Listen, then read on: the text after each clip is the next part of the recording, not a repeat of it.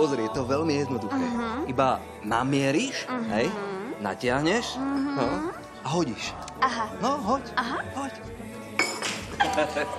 Ja som strašne rád, že sme dnes išli spolu von. S tebou je super zabava.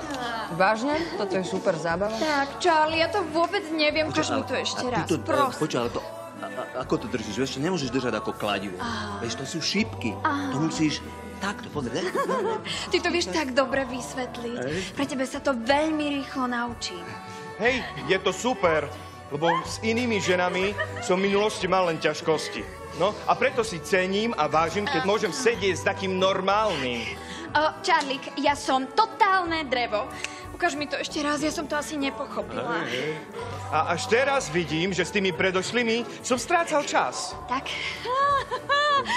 Ty si jediný chlap, ktorý vie, ako narábať so ženou. Miki, ty s kým sa rozprávaš? Prosím? S kým sa rozprávaš?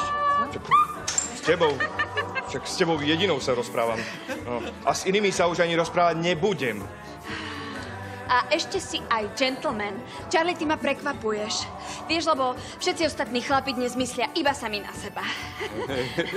tak, ešte raz, ukáž. Ja som nevedela, že máš za sebou taký bohatý citový život. Hej, mám. Ale to už skončilo. Hej, však sme tu spolu, my dvaja.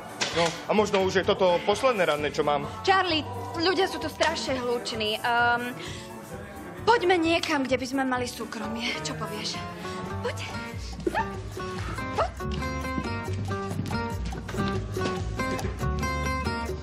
Miki? Ty čo máš s Lídiou? Ja? S ňou? Ani bohovi. Klameš.